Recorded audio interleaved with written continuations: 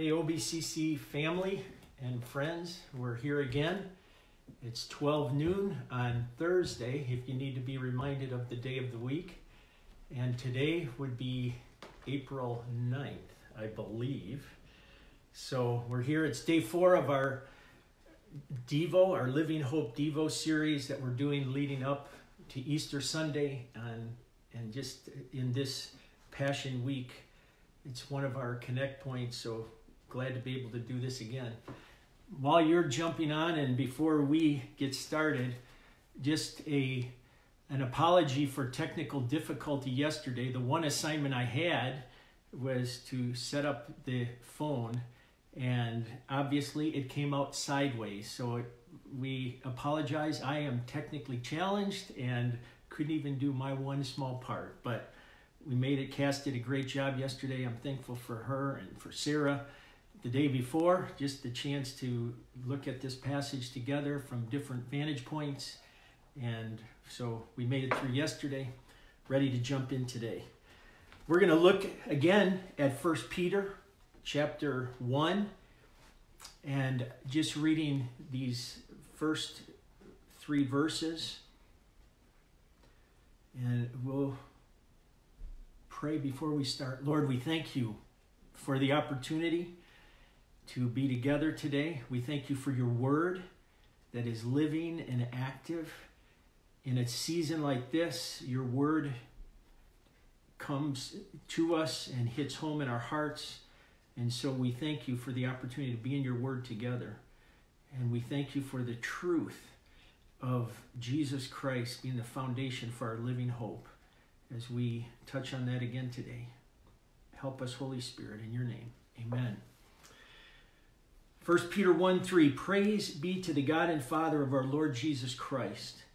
In his great mercy, he has given us new birth into a living hope through the resurrection of Jesus Christ from the dead, and into an inheritance that can never perish, spoil, or fade. This inheritance is kept in heaven for you. We're going to stop right there. I want to read that a few more times. This inheritance is kept in heaven for you. This inheritance is kept in heaven for you. Today, we're going to just talk a little bit about heaven. And, and I want to ask you when is the last time you had a, a, a an in depth or at least a, a longer conversation than just a, a passing uh, comment about heaven. When's the last time you just spent some time thinking about heaven? And, and there, there's something here in this text as we talk about the living hope that is tied to heaven. And those two things work in combination, they work in tandem. And it brings us right back even to our challenge for this year and our theme from the book of uh, Colossians in chapter 3 it says, set your hearts on things above. That's heaven. Set your mind or your affection on things above. That, that reminder that we are to do that. And what better time than right now with all that we're going through to just take some time to think about heaven? It's not wrong to do it. I think I can say this compared to heaven, earth, and all that happens here is overrated. And it can bring joy to our hearts, excitement to our hearts when we truly think about heaven. I want to read a quote from Rick Warren. This comes from his book, Purpose Driven Life. But just get a hold of this for a moment. You will not be in heaven two seconds before you cry out, Why did I place so much importance on things that were so temporary? You will not be in heaven two seconds before you cry out, Why did I place so much importance on things that were so temporary? So I, I want us to just think about heaven together for a few moments. And whatever we do in these moments, and whatever you do in your own time thinking on heaven, whatever we do on this side of heaven, at best, it's a sneak preview. We, we, there's so much more on the other side, but to stop, to think on, to meditate, to look at God's word and his promises that, that help us get a glimpse into heaven, it's worth it. And it's only at best a sneak preview. But, but just uh, as we think about this, what excites us about heaven? What is true about heaven?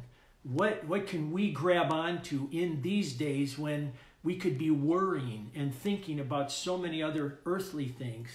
When we stop to think about heaven right here in this text, it says our inheritance is, stir, is stored up for us in heaven. It's kept for us in heaven. The very thing that Cassidy encouraged us with yesterday as we think on the inheritance we have in Christ and all that is waiting for us. It, it, it's stored up, it's waiting for us in heaven. That gives us reason to want to go there in our thoughts. It gives us reason to, to think on those things. In Ephesians chapter 1, uh, Paul writes, uh, just as he is beginning his letter, and, and he just says, Praise be to the God and Father of our Lord Jesus Christ, who has blessed us in the heavenly realms with every spiritual blessing. That whole idea of inheritance, of the spiritual blessings, that's where we know that we have all that that Christ has provided for us. So our inheritance is stored up there. That's one reason we need to meditate on, on that, think on that, dwell on that. But let me give you some other reasons, and, and these next few are just from Jesus himself. In Luke chapter 10, verse 20, we read a, a profound statement. Jesus has instructed a group of disciples, of Christ followers, to go out. This time it wasn't just the 12, it was 72 of them, and they went out and they bore witness and they, they, they walked in the power that Jesus had given them to cast out demons and to heal the sick and to preach the gospel. And, and they come back and they're full of joy and excitement and said, Lord, even the demons submit to us in your name. And then Jesus replies, and in verse 20, he says this He says, Do not rejoice that the spirits submit to you, but rejoice that your names are written in heaven. Can, can we just, even in this time, in these few moments, just to know right now, as we deal with daily life, as we go through what we're going through here and being in lockdown in a sense in our homes and wondering about maybe so many other things related to that with our work or sickness or any other kinds of things. In the midst of all that to just stop and say my name is written in heaven. No matter what happens when it happens how it happens on this earth my name is written in heaven and jesus says more than anything you see happen even in my name rejoice that your name is written in heaven if you are a follower of Jesus Christ, if you've received Christ as your Savior today, your name's written there. And every time we want to uh, worry or fret or wonder what the future holds, we just know that our name is, is written there. But, but I, I want to give us some other reasons to be excited about heaven today. And, and I'm going to jump to Philippians, and then I'll come back to what Jesus said in another text. But in, in Philippians chapter 3, there's reminder as well, and it gives us reason to think on heaven. In Philippians 3, beginning with verse 18, it says, For as I have often told you, and this is Paul speaking. For as I have often told you before, and now tell you again, even with tears, many live as enemies of the cross of Christ. Their destiny is destruction, their God is their stomach, and their glory is in their shame. Their mind is set on earthly things. But our citizenship is in heaven. Our citizenship in he- is in heaven, and we eagerly await a Savior from there, the Lord Jesus Christ, who by the power that enables him to bring everything under his control will transform our lowly bodies so that they will be like his glorious body. Wow, if, if we just think a little bit about heaven today, our name is written there, our inheritance is stored up there, and our citizenship is there. More than we are a citizen of the U.S., or if you're listening from somewhere else, a citizen of, of some other country, more than that, our citizenship is in heaven. We, we anticipate going there.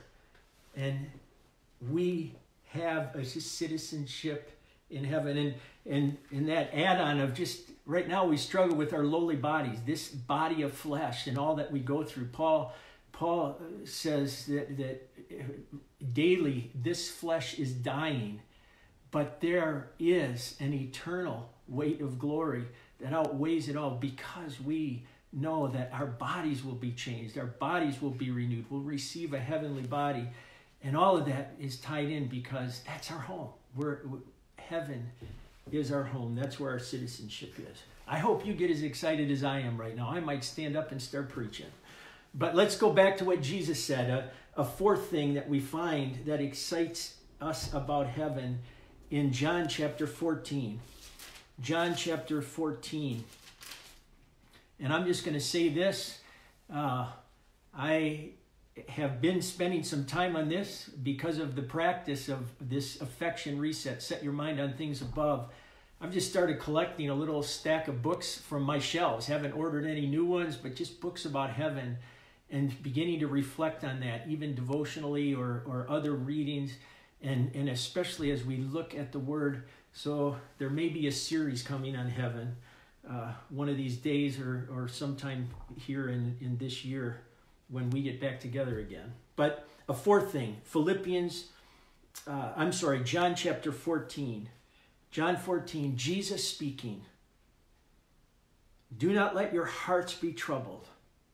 Let's just thank God that, that He knew that this earth would bring us trouble and and concern and worry. But he says, Don't let your hearts be troubled.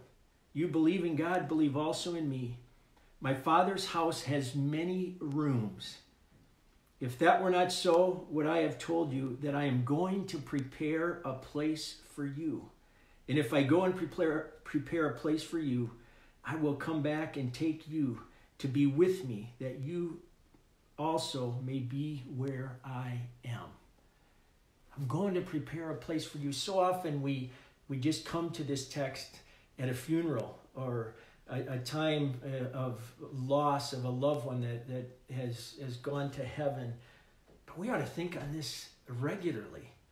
Jesus went from this earth to prepare a place for us.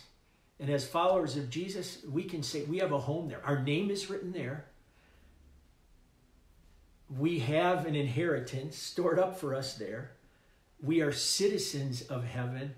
And even adding to that now, we say we have a home there. Some translations say, uh, in, in my father's house are many mansions. Go ahead and dream and think about that. However, you're living in this space on earth, in your heart, you can just say, God's making a room, a special room, a mansion, a place for me. And, and that's not just uh, a flippant statement. That's that's reality. I, I thought about this in preparation for this time, and a lot of us live in homes or apartments or condos or we're in a townhouse here. And, and a goal especially in our american culture is to own our own home and to get it paid off. And we work to doing that.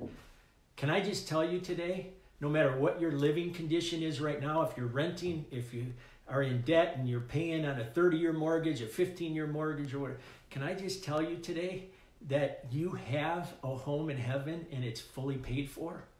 It's fully paid for. It's not it's not a home that you have to uh, pay on monthly. It's not something you have to do to hopefully earn it. But if you are a follower of Jesus Christ right now in heaven, He's prepared a room, let's say a mansion for you and and it's far beyond anything we could even think or imagine and it's good to just think a little bit about heaven So our inheritance is stored up there.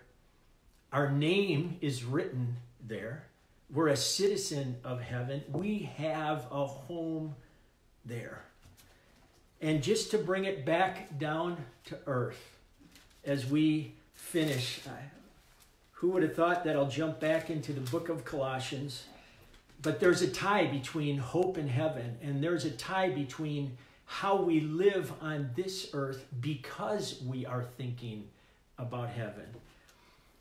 And here's what, what Paul writes there in Colossians, starting in verse 3 of chapter 1. We always thank God, the Father of our Lord Jesus Christ, when we pray for you because we have heard of your faith in Christ and of your love and of the love you have for all of God's people. And listen to this the faith and love that springs from the hope stored up for you in heaven, and about which you have already heard in the true message of the gospel. The faith and love that spring from the hope stored up for you in heaven. Could it be that knowing, meditating on, in faith, appropriating that that we have a hope waiting for us in heaven. We have the hope of heaven. And because of that hope of heaven, our faith, our love for one another, our faith in God and our love for one another is, is appropriated differently right, how, right now as we live on this earth. The more we realize how great heaven is going to be. We want everyone to be there. And not everyone's going to be there.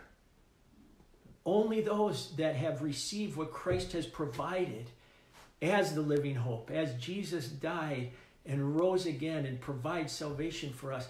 We've got a message to tell, we've got a gospel to preach. And the more I think about how great heaven will be and the hope that is awaiting me, that I want everyone to join me in that. And that encourages my faith and it helps me to love you, my brothers and sisters, because as I love you, as I as I fix my hope on heaven and realize how awesome that's going to be, we on this earth together can can walk in a love for one another that that God has graced us with. And it all ties in. It all ties in that hope that we have in heaven brings us back down to earth. C.S. Lewis and I'm not sure I have this quote exactly right, but throughout the years, I've never forgotten this. C.S. Lewis said this Those that think the most about the next world will make the greatest impact in this world. Those that think the most about the next world, about heaven, will make the greatest impact in this world. And so may God help us to think a little bit about heaven in these days when you've got some spare moments go there. I, have listed four or five things here. I, the homework is for you to add to the list. What, what do you think about when you think about heaven? What do you hold on to? Where does your heart go? Set your mind on things above and watch what God will do to encourage you, to strengthen you, to keep you, to empower you to live as He would have you to live. So that's your homework. You add to this list. I just got us started. We may talk about it again somewhere down the road, but let's be encouraged by the promise of heaven, the hope we have in Christ, and the inheritance stored up for us in heaven.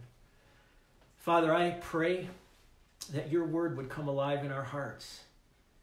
Even as we think and, and talk about heaven, it, it's, it, it's seen through a glass darkly. It, it's such a small reality of what really is heaven beyond what we could even think or imagine. May, may we go there in our hearts, in our thoughts, in our prayers, and may it light a fire in us like never before as we serve you.